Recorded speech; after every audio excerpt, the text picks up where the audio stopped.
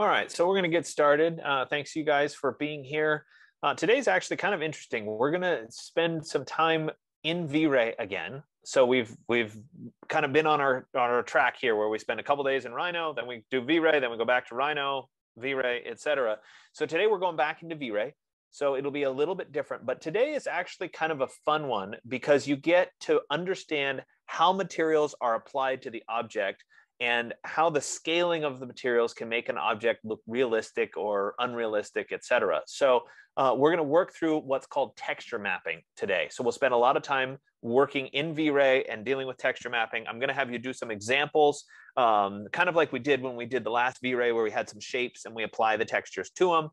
We'll do that to get started and, and learn about texture mapping. And then you'll actually go back and texture map the objects that we created in the last two and then bring them into a sample scene and do an official rendering of it. So I'll walk you through all of that. But in the meantime, let me go ahead and share my screen here. And then you have to give me a little bit of time to get organized so that I have everything set up so I can see all of you on my other screen here. Let me get the chat window up. Perfect. So you guys should be able to see my screen nicely now. Uh, I've gone ahead and I pulled up exercise 207. Oh, I think I might have said it was 208. Uh, my mistake. It is 207 that we're going to work on today. Uh, and we're going to start with this part one here, where we're creating a basic uh, set of shapes. And we'll work with that basic set of shapes to, to understand how materials are applied to objects. So I'm going to go ahead and open up Rhino. I am working on the school's remote desktop. Uh, you can tell that because I have my keystrokes enabled so you can see what it is that I'm, uh, I'm doing. So this will look the same if you're working on the school's computer uh, remote desktop as well, which I guess for V-Ray is probably important. I'm gonna choose a large object inches template. And just to confirm that it did take, I'm gonna look down here and it is saying inches in my um, units right down here at the bottom. We can close all of the V-Ray toolbars except for the V-Ray complete toolbar. And we'll dock that one up here at the top. Next thing I need to do is go to my render menu and then come down to current render and change to V-Ray for Rhino. So we have to enable V-Ray. And now we're, we're getting good. So uh, first thing I need to do is kind of establish that basic scene. So some of this is going to be some review from previous uh, classes. Let's go ahead and double click on the perspective viewport to make it take the full size of my screen here.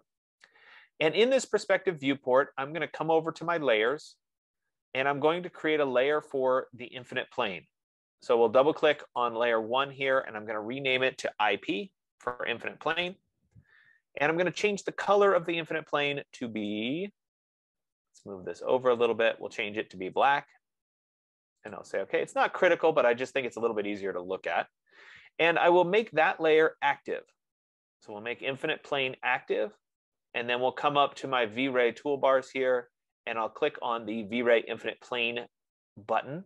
The alternative to that would be to type viz infinite plane, or excuse me, it's just V-Ray infinite plane. And that then drops the infinite plane on my object. So there it is. If we want to see it in shaded mode, we can drop into shaded mode and see it. There it is. And we can orbit around and see that I have that infinite plane. Now I also would like to have a basic directional light. So let's uh, double click on layer two here. Change the name to uh, light. And then I will create a little helper box here for my light. And I'll choose this, which is our basic directional light tool. I'm going to turn on my endpoint snap and I'll snap to this end and I'll snap to the opposite corner. And then I can go ahead and delete this box by pressing the delete key. And now I have my light shining down on the scene. All right. So now I need to create a composition of objects. But before I do, let's go ahead and lock the infinite plane layer. I'll move myself down to layer five as my working layer, and I'll lock the light layer, oops, light layer as well. So now I'm gonna go ahead and create some basic objects. So the first one that I ask you to create is kind of a wall. So I'm going to create a wall and we'll say that that's maybe uh, at 12 feet, comma, one foot. And we'll make that eight feet tall. And there it is. Let's select it and then type Z for zoom, S for selected. So I'm recentering my view around that object. That's good. And let's create a few more objects. So we'll create a like a box and let's do it uh, at four feet, comma, four feet. And we'll make it four feet tall. Let's create maybe a sphere. So we'll do a diameter of four feet. So I typed D for diameter. Uh, it's currently halfway down in the infinite plane. Let's go ahead and move that up. So let's move. And then I'm going to choose vertical or type V. And we'll move that up. Go up two feet. Now it's there. Let's see. Let's create a couple other objects for us. Uh, let's do a cylinder. And we'll do a diameter of the cylinder. So I'm typing D, also of four feet. I'm keeping these objects relatively consistent. We'll do four feet high. And then let's go ahead and do a pyramid.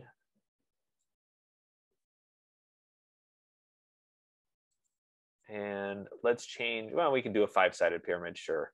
So let's go maybe three feet there. That's fine. And we'll go up another four feet, something like that.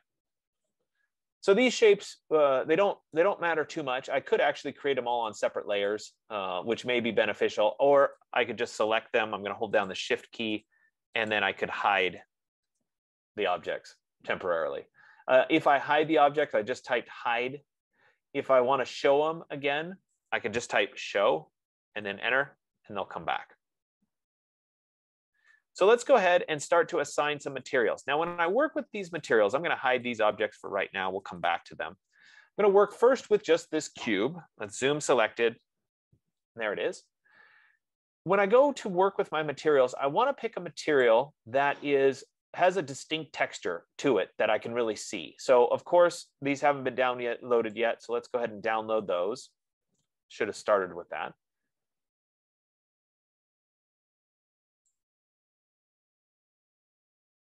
So I apologize. We just have to wait for this to download.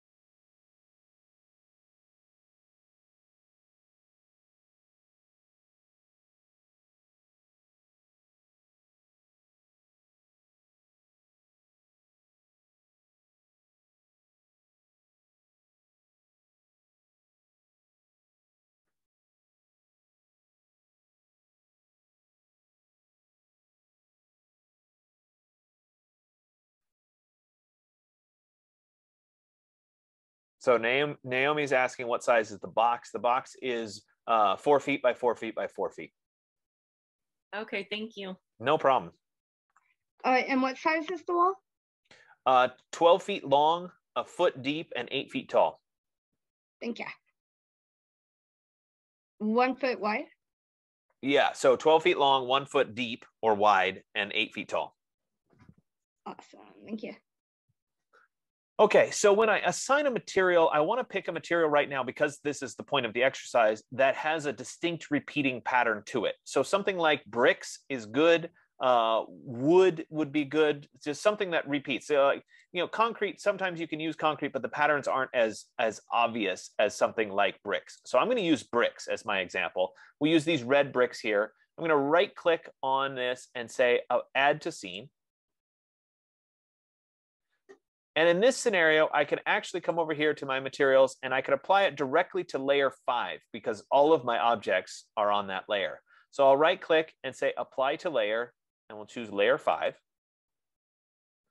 And we're now on assigned to uh, all the objects on this layer. If I want to preview this, I can click the down arrow next to perspective and I can choose the uh, rendered. And I should get a preview like that of what my bricks look like. And so as I'm looking at this, we can see that one, the texture is much too big, but two, it doesn't really look right. It's kind of squished in the front. So what, what our purpose today is to explore the concept of texture mapping. And so texture mapping is available to us when we select a particular object. I'm going to close the asset editor for right now. When we select our object, and then we come over here to our properties, we've got our basic properties, which are the color circle that tells us what layer we're on. The next one over here is what material. So it's currently using the layered material and it tells us what it is. The next one over is this kind of curling checkerboard pattern. That's what we're carried, caring about today. So that's texture mapping. So I'm going to click on texture mapping and you'll see, you know what? Let me make this a little bit bigger. There we go. When we look at this texture mapping dialog box here, once we click on it, we have a bunch of presets that are available to us directly below, They're actually this first row, and then it gives us a bunch of information. So let's start with looking for a preset that looks most similar to our object itself. So in this scenario, the closest object would be a box. So how about that? We have a box and our closest object would be a box. So I can click on this apply box mapping. And when I click on that apply box mapping, it's going to come up here and prompt me. So a lot of times people will just click on it and assume that it, it took. It didn't. We need to look at our command line. It says first corner of base, or do I just want to pick a bounding box? So in my case, I just want to pick a bounding box. So I'll click on bounding box. Then it asks me for the coordinate system. Do I want world coordinates or the C-plane? In this scenario, those are identical. So it doesn't matter which one we pick. We'll stick with world for right now. And do I want the box to be capped? That means, does it have a top on it? Yes, I do want it to be capped. So I'm going to choose yes. And you see that immediately when I look at this, the brick size is changed and they're uniform. So the pattern on all sides are the same. So let's dive into this a little bit more. If I zoom in here, we can see that the texture comes up this side, folds at the top, and then moves along my object along the top. On the side, this texture pattern continues and wraps around the corner and actually would continue all the way around the object on every side. But as we come to the top of the object here, this folds over, but this side gets clipped. And you can actually see that kind of happening. So there's one seam that doesn't quite work. And this is true for the reality of materials. We'd always end up with something at the top where these didn't quite line up. So we can have one side that folds over, but we can't have both sides like that. So let's look also at our overall size. So when I chose that box map, when I chose that box map, uh, over here in my XYZ size, you can see that it's setting that up to be 48 by 48 by 48. Okay, so with that 48 by 48 by 48, that happens to be in inches, which are my default unit. That happens to be the length and width and height of all sides. Hold on one second.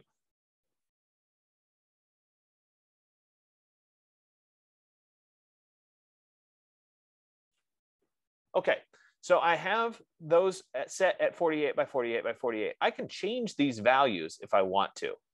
And we'll get into changing that a little bit later. But for right now, we'll stick with it at 48 by 48 by 48. What if I want to change the overall height of a brick or the repeat pattern for the brick? Okay, if I want to change that, I'm going to come over here to this UVW repeat, and that's how many times is the image repeating on itself. Okay, so if I change this UVW repeat, I'm going to lock it so that they all change the same. So I'll check that check mark and I'll change the UVW repeat to two. Now, when I change the UVW repeat to two, you can see that I've doubled the number of bricks in this object. So I can change it to any value in between. I can change it to 1.5 and I get one and a half times the number of brick. So if I knew the actual size of a brick and how many courses I wanted in my four feet, so let's say I wanted uh, four inches to the course, that would be three in every uh, foot, uh, three times four courses would be 12. So I'd end up needing 12 bricks repeating over the course of this object. Uh, 1, 2, 3, 4, 5, 6, 7, 8, 9, 10, 11, 12, 13, 14, 15. So that's a few too many repeats. So let's go down to maybe 1.2. And that's probably pretty close. 1, 2, 3, 12. There you go. There's my 12. Pretty close to it. So I can actually size these appropriate to a particular dimension should I want to. So let's pause on this object for right now. Let me show all the rest of the objects. Let's take that one and let's hide it. And let's also hide these three. And let's look at my wall. So if we look at the wall now, obviously the texture is not right. If we look at the presets, well, the closest one is still that box. It's not quite the same, but let's stick with the box. So I'm going to apply the box mapping. I'm going to choose a bounding box again. I'm going to choose the world coordinate system. And yes, I'm going to cap it. And so if we look at it now, my object, which is 144 by 12 by 96 in inches, my texture is kind of getting funny. So the, the texture is getting squished on the end, it's getting squished on the top, and it's projected reasonably well on the front. So in this scenario, I actually want the texture to wrap the corner, even though the object is different, as if this were a square object. So I can come over here to my XYZ size. Instead of having 144 by 12 by 96, I can choose this option, which is X equals Y equals Z. And when I do that, it's going to resize this to be the average of the three sizes. So we're, we're now at 84 inches on a side and that's showing the overall size of the box or the, the texture. And in this scenario, my bricks are wrapping around the corner and my bricks wrap over along the top here. So I would have to come down here to the UVW repeat. I can check the box for lock, and then I could increase the number of bricks, for example, to get the scale right. Now from the square that I just did, I happen to know that the square was 48 on a side and I knew my UVW repeat was 1.2. So I can actually use those numbers from the square here. So I could say, you know what, let's make this at 48 by 48 by 48. And let's set my UVW to 1.2, which gives me the same size as my cube. And now it's the texture is applying across this object rather than across the, uh, you know, being skewed or whatever.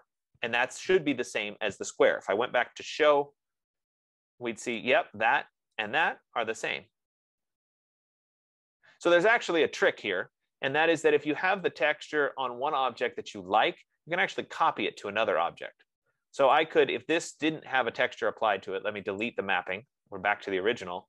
I can actually use this tool right here to match the mapping. So I select my object, I click on match mapping, and I can match that. And look, all these values copy over. So once you have one object that has good texture mapping, you can copy that to other objects. Now, what happens in this scenario if I didn't like where the seam happened along this edge? Can I adjust that? Absolutely, I can adjust that. And so to adjust that, we need to adjust where the image is applied. And there's two methods for doing this. One method would be to actually adjust the offset here. And you're going to have to give it a, a, a, um, a try on which value to change. I'm guessing it's going to be this first one. But let's say I went to one, you can see that it jumped. If I went to two, you can see that it's jumping. So look right along this edge when I change it. I'm going to change it to three. And you can see it's moving the texture. I can move the texture backwards and forwards using this value. So if I went to three here, we'd change how it's applied on this edge. So I'm, I'm controlling where the texture is on the object. That's one method for controlling where the texture is on an object. There is another method, and that's to show the mapping widget. So up here in our toolbars, I can click on this show mapping widget, and it will show me, it actually, because I copied it, it's over here. It'll show me this little box that I can then manipulate. So just for clarity, let me move it over here so you can kind of see it. As I move this object, my texture pattern changes. So I can decide where I want, for example, let's zoom in here. If I want there to be a seam of the brick right on the corner, I can move that until I get a brick seam on the corner, for example. I can also rotate this if I want to. This isn't going to look too, too uh, exciting right now, but let's rotate it on its side. So I'm going to do a rotate 3D. Let me turn on my snapping here.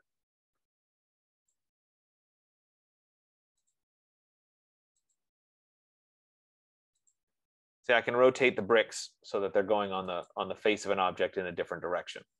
So we'll come back to that. I'm going to undo that for right now, and I'll, I'll reinforce that. No, it doesn't want to do it. Let's, uh, let's recopy it. So let me take this, we'll delete the mapping altogether, and then we can recopy it.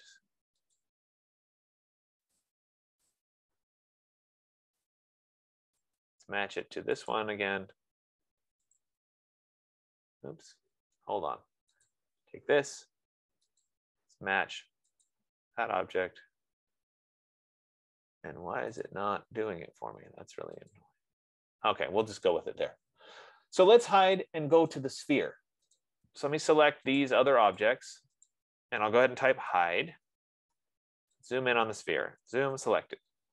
So there's the sphere. When I go to do texture mapping on this sphere, we want to come over here and the box is no longer appropriate, but the sphere is. So I can click on apply spherical mapping. It's going to ask me again, same questions, bounding box is the default. Yep. We'll do world. Yep. And now we've assigned it. It's pretty close to what was there.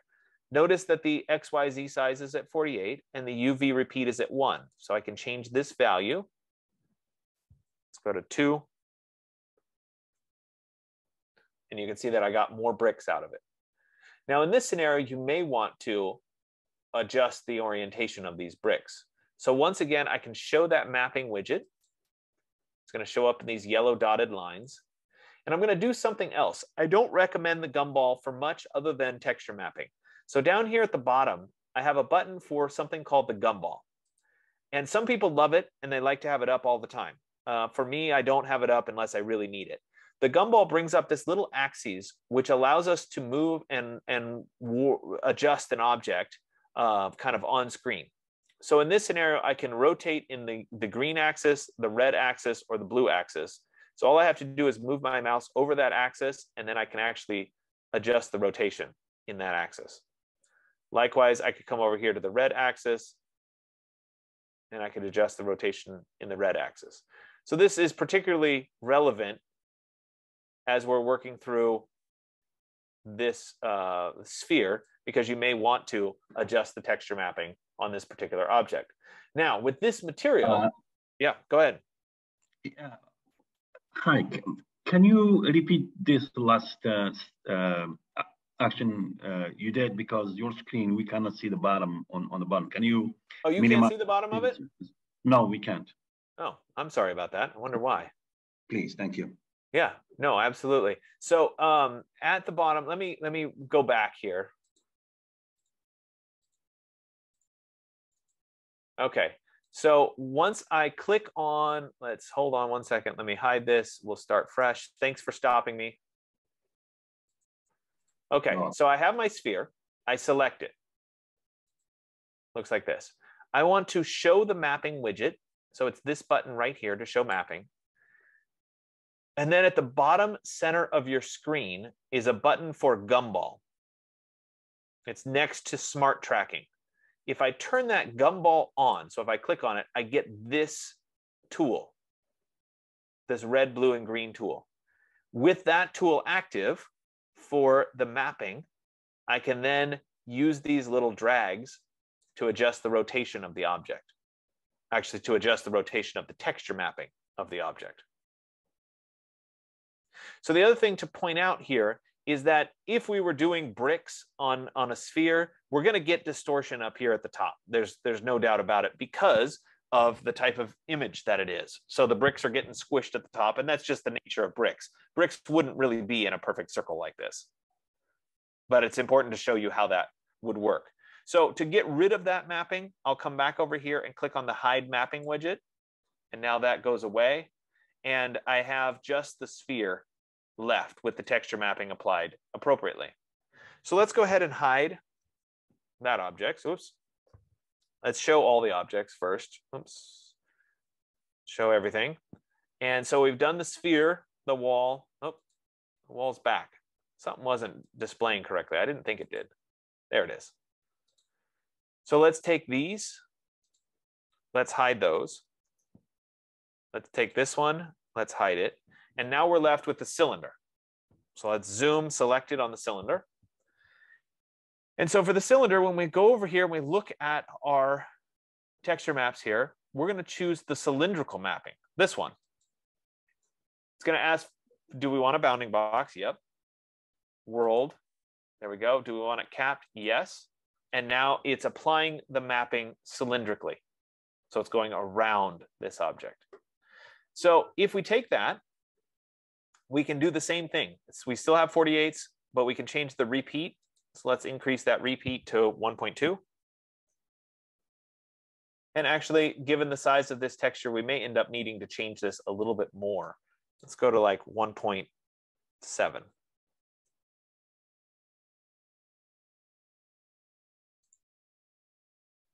Let's try 2.5. Yeah, it's it's actually you can kind of see this. It's still stretching no matter how I change it. So in this scenario, we may have to unlock and then change some of the other values. So let's change the X and Y to 1.2. And the Z, let's go back to all of them at 1.2 and let's try the X and Y increasing. So uh, let's go two and two Nope. And this is where sometimes you have to do some experimentation on which values to change.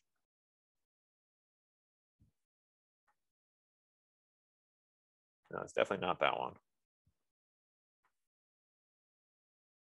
There it is. So I needed to increase the um, the U and the W values and not the center value to get the bricks set right. So it's just one of those things by eye that we kind of need to work through. I'm not overly worried about the top. In reality, when we start to make these kinds of shapes, we're going to put some kind of different material on top, maybe wood or something. If you imagine this like a well, you'd probably just have this on the wall, and then you'd have a different cap or something that would that would cover the top. Let's go ahead and show them all again. And we've made our way all the way over to this little pyramid at the end. So let's hold down Shift, and we'll hide all of these. And we're down here on the pyramid.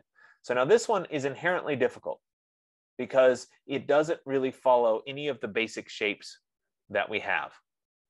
So in this scenario, if I were to pick, uh, let's say a box, I could do it. Let's do a bounding box, world, capped, yes. And you know, it kind of skewed it, and maybe it's not too bad. There's there's some issues with how it's been applied, but like I said, this is an inherently difficult object, so that's not terrible let's remove that mapping, right? And we could try maybe a cylindrical map. So we could do a bounding box again, world, no, it's not capped. And there it is kind of going around the object. So it's not, it's not awful, but it's also not uh, spectacular. Hold on one second.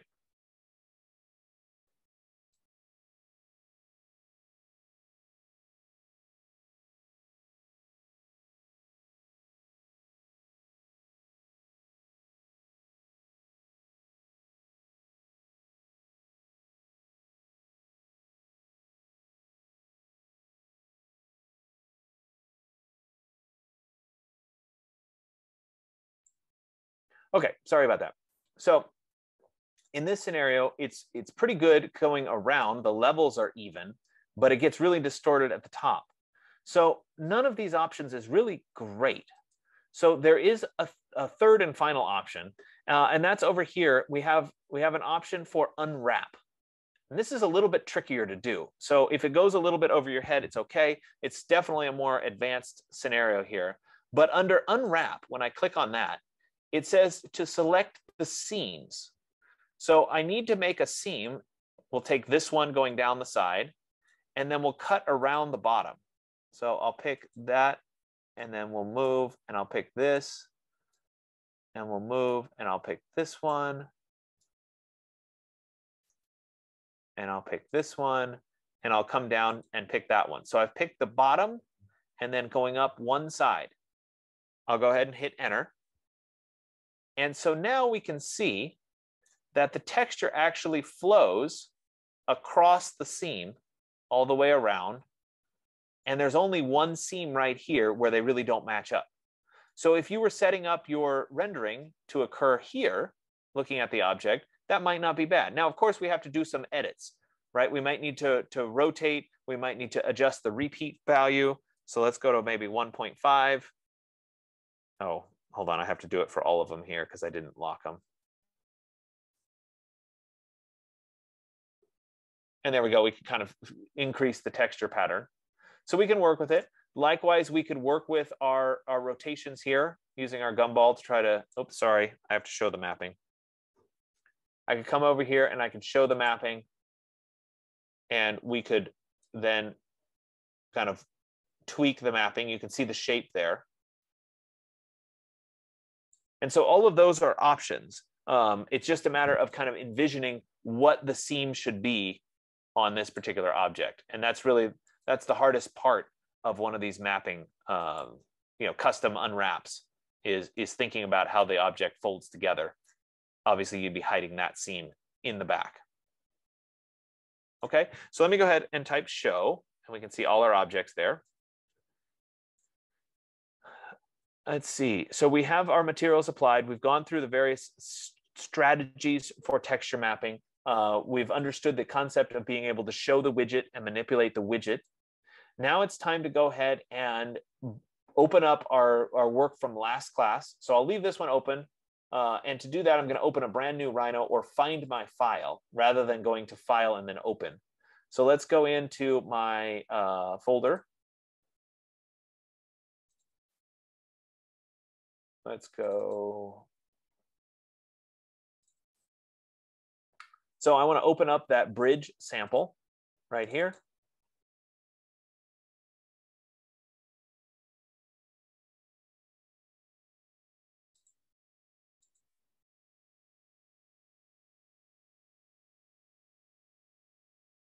And that's not the same one. Let me, hold on, sorry.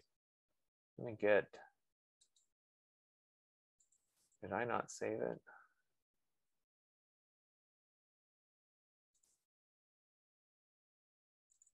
Try this one.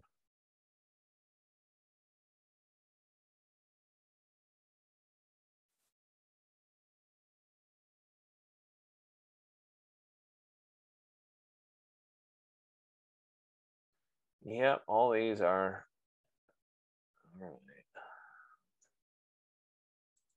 I got myself into trouble because I didn't save it last time. Maybe I saved it in here. Oh, I did save it. Never mind. Sorry. Nope, that was a curtain wall. We need to go back to. That's where I was off. All right, there's the bridge. Okay, so there's my bridge. Now we set this up and we already uh, put an infinite plane in and a light in. Now, when I go to use this later, I actually don't want any of those objects because we're going to use this as what's called a block reference. So we're going to use this and bring it into another scene. So I'm going to go through, look at my layers. Oops, wrong Rhino. Let's make this one big here so I don't make that mistake again. Let's look at my layers and I'm actually going to get rid of the infinite plane.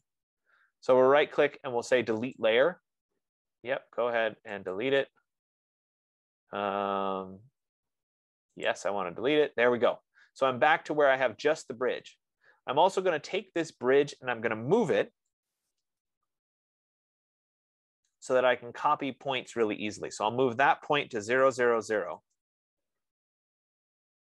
So it's right down there at the origin. And then I want to make sure that my materials have been applied appropriately to it. So if I switch over here into my rendered view, I believe I already put concrete on it. There it is. But I want to make sure that the texture mapping is correct. So let's go ahead and take my objects. I'm going to select them all at once. I'm going to go over into my properties. I'm going to choose texture mapping. And I will apply a box map to it. We're going to do a bounding box. We're going to do a world. Yes, it's going to be capped.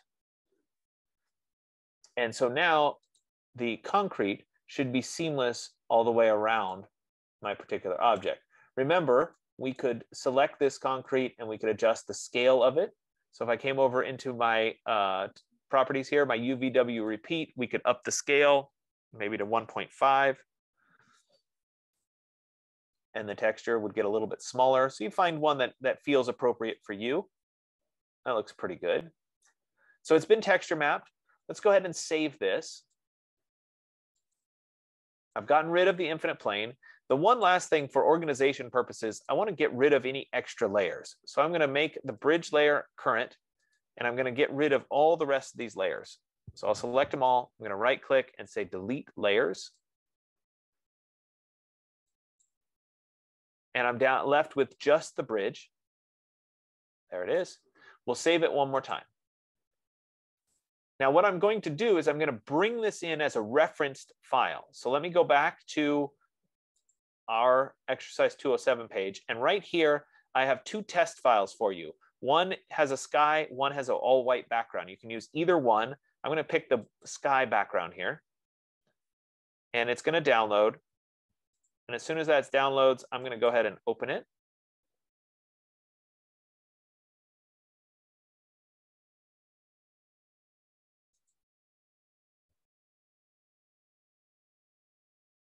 All right. And so in this scenario, you can see that I already have an infinite plane and I already have my directional light installed. So I can actually just bring in those other objects. So let's make this one big. Let's dock my V-Ray toolbar here. Let's make sure my current render is set to V-Ray, which it is. And I'll go to edit and then blocks and then insert block instance. From this little insert, I want to click on the file and I want to go find that file that I just saved. So let's go into my live demonstrations. This was in 205. And there's my bridge. I'm gonna go ahead and say open. And this is going to ask us some options. So we can directly embed the file or we can choose to link the file. Long term, when we get to working on the final and whatever, using these linked references are really, really important. So we're gonna link the reference. Our layer style, we wanna choose reference layer. So it's linked with a reference layer and we'll say, okay. And then we'll say, okay, one more time. And there's my bridge. So I can actually drop my bridge into the scene. I'm going to turn off that gumball. There it is. And let's move it a little bit higher. So let's go to move. We're going to choose vertical here. And let's go up by maybe five feet. There it is. So it's kind of floating. So if I go in and I render this, so let's click the little teapot to do a sample render.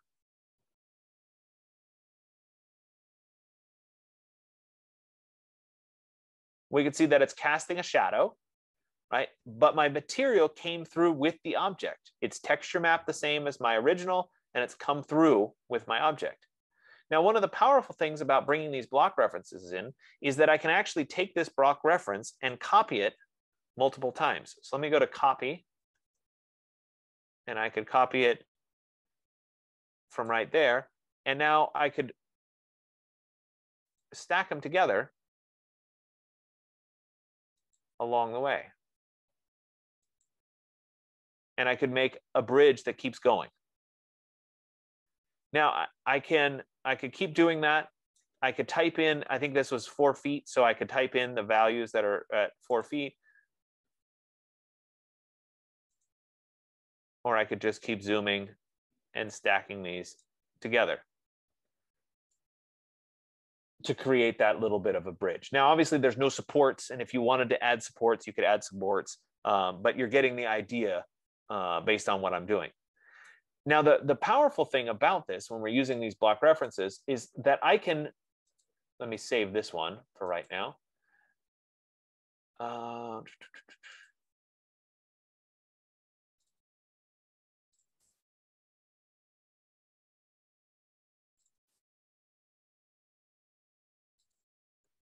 save that right there. Uh, is that I can make changes to the original file. So let me come back here to my bridge and let's say I wanted to, to change. And you saw this in some of the ones that I opened. I added a little wooden rail that went on top of this. So let's say I wanted to add that wooden rail. I could say, okay, let's do a new wooden rail. And let's say that that's maybe uh, three inches tall. Let me move it up, move vertical, two inches. And let's move it this way by one inch.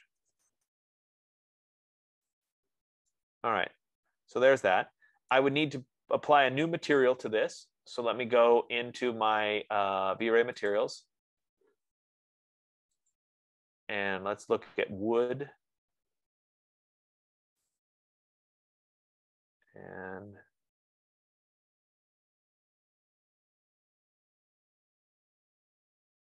Sure, let's do this. I'm just going to apply it directly to the selection.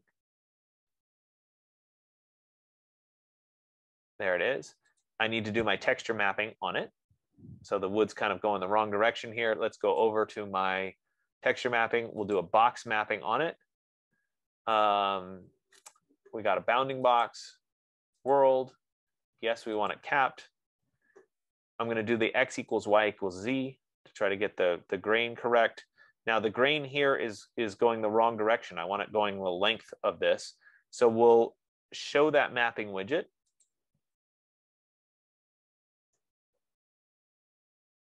And did it, sorry, I didn't actually click the button here. Show the mapping widget, there we go. And then I'm gonna rotate this 90 degrees. I'm gonna hold down shift. That was, there it is at 90 and I now should see the, the wood going along the side there and along the top. So that looks pretty good. So I've created that. We can hide the mapping. I'll come back here to hide the mapping. There it is. Now I need to copy this over to there. So I could take this piece, we could mirror it. Snap to the center there. I actually don't have my midpoint snap on. That's why I was having trouble.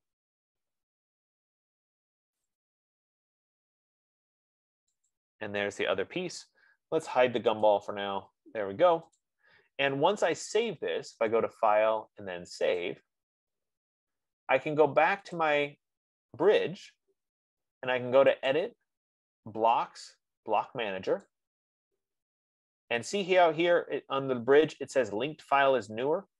I can actually choose to update that to the new version. And now the work that I just did is now showing up here. Now it looks like I have some issues. These didn't quite line up the way they were supposed to. Uh, actually, I, I think when my copying, I stacked them by accident. But you guys get the idea for what you can you can actually do as you start to create these model modules. So I've done the texture mapping on this. Let's bring in that glass curtain wall. So let me go into my blocks. So I'll go to Edit, Blocks, and then Block Manager. And I'm going to bring in that curtain wall. Oops, sorry. Edit, blocks, insert block instance. Click that little file icon. And this time I'm going to find my glass curtain wall. So there's my curtain wall. We can say open. We're going to use it as linked with a reference, and I'll say OK. I'll say OK, and we can drop it in. Now I've got a problem. When I did that, it brought in another infinite plane in addition to my glass. So I need to go back to the original and I need to edit that.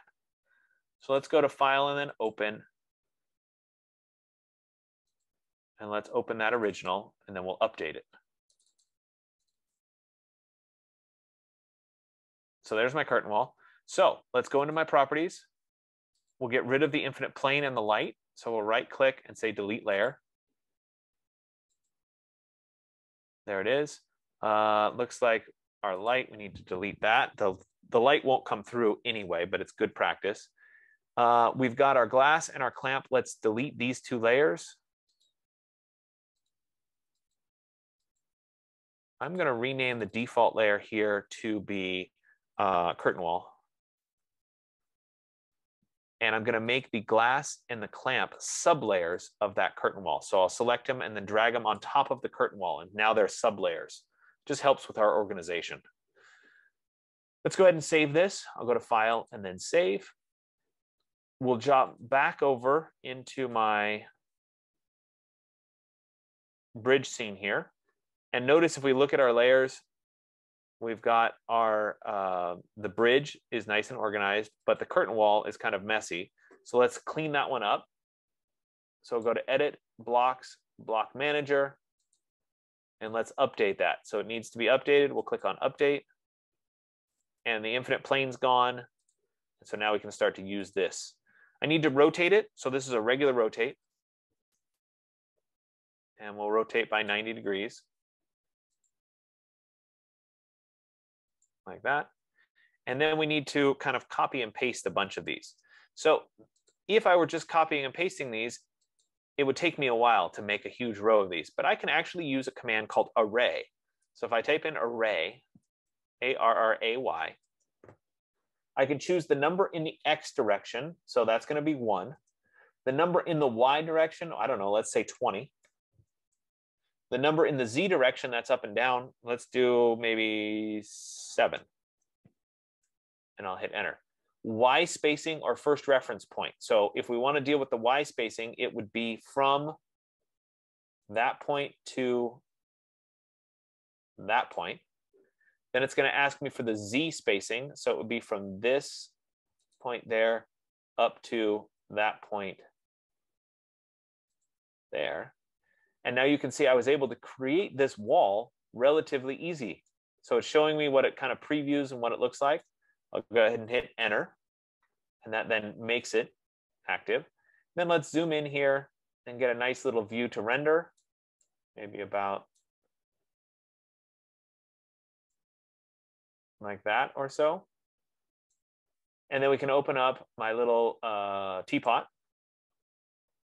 and perform our first render.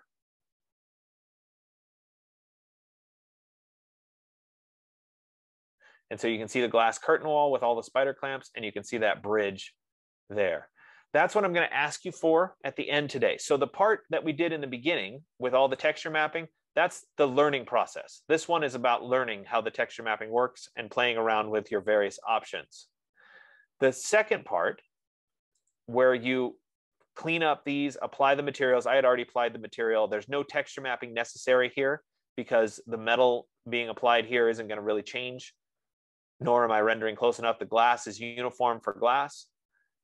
This bridge file did take some work and you're gonna bring those both into a scene. You'll do an array of the glass and you'll copy and paste or do an array of the uh, bridge so that they all start to come together. You'll perform a rendering and then this is the piece that I want you to turn in for today's exercise. I just wanna make sure that that agrees with what I said here. Right? If you end up having extra time, you may want to consider working on your assignment 201. You can now start to do more of the geometry and um, you can also apply some preliminary texture mapping so you can start to see this stuff come together. Right, Brooke had a good question. I'm looking at my chat. Sorry, it was a few minutes late here. Uh, she said, can you delete the infinite plane after it's been imported? Two important notes. One, we're not importing it we're inserting it. So it's a linked reference file. If we had imported it, then yes, we could delete it. But since it's a linked reference file, it lets us go back and fix the original and then, you know, basically update it, that reference. And in that scenario, the only way to delete it would be to delete it in the, um, the original file, the referenced file. So for example, if I were to click on one of these, they would show up as basically kind of like a group where I can't go in and individually, like I couldn't select this rod and change it in any capacity. I'd have to go back to my original file here to actually change the material or change what it looked like, etc. So it's always the original, and then you have your reference where you're doing the rendering. And this is a really good habit to get in. It's early right now, so it doesn't really matter. You can do it all in one scene, but bringing them in as reference files is something we'll do a lot of going forward and, and certainly for your final project, because it's the only real way to keep track of all these different files that, that all work together. Okay, so I'm gonna go ahead and stop here. I think we covered it well for today. I'd like you to get started on that. We'll have our first check-in. Uh, it's at 12:10, so you've got about 10 minutes uh, to take a break, and then you guys can come back, and I'll come back, and we'll go from there. Were there any questions before I let you go?